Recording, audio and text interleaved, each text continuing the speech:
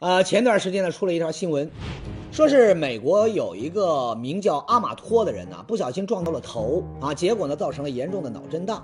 出院之后呢，有一次他看到了钢琴，自然而然的他就演奏了起来。那么据这个阿马托自己说呀，他说他以前呢从来没有弹过钢琴，甚至连乐谱他都不懂。但闭上眼时呢，脑海中忽然就浮现出从左至右浮动的黑白琴键，还有连续的乐章。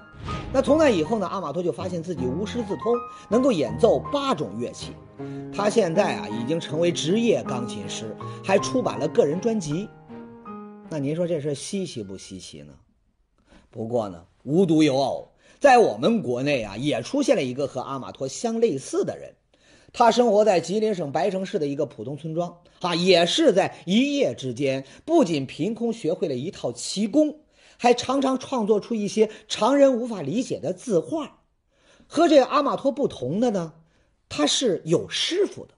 不过呢，这也是最让人不可思议的一件事儿。那传授他技艺的师傅，居然除了他本人，谁都不可能见得到。您说是不是挺玄乎的呀？那么，这到底是怎么回事呢？哎，咱们今天呢要介绍给大家的这位名叫杨洪全。他原来的职业啊，是一位普通的农村教师，啊，就是大家俗称的孩子王。过去呢，杨洪全的生活呢一直很有规律，啊，也很正常。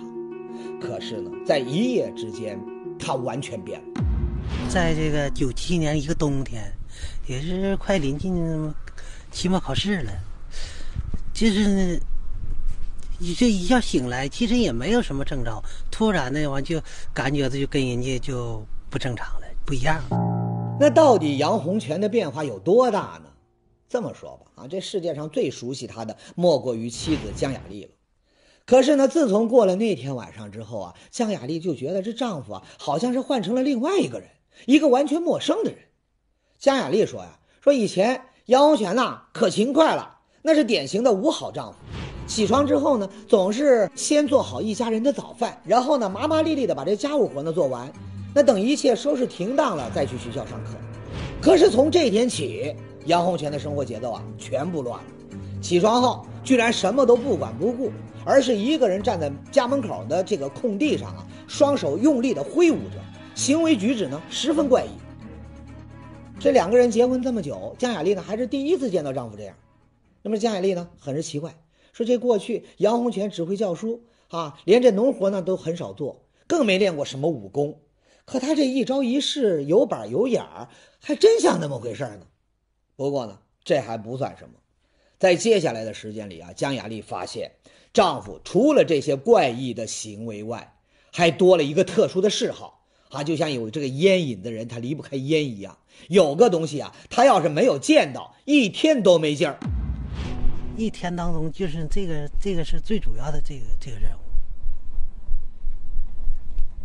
这不像说一早一晚说这个还行，我这一天我都不敢停，就一次也也也都不敢停，就这十来年就这么过来。哎，每天最主要的任务，那还一天都不敢停，那到底是啥东西让这杨洪全这么魂牵梦萦啊？哎，其实呢，这个东西还真没啥稀奇的，咱们几乎每天都能够见得到。什么呢？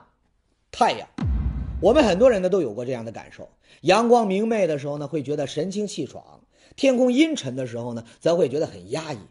不过呢，杨洪全呢和常人不同，他对有没有阳光的反应啊，那实在是太强烈了。那强烈到什么地步呢？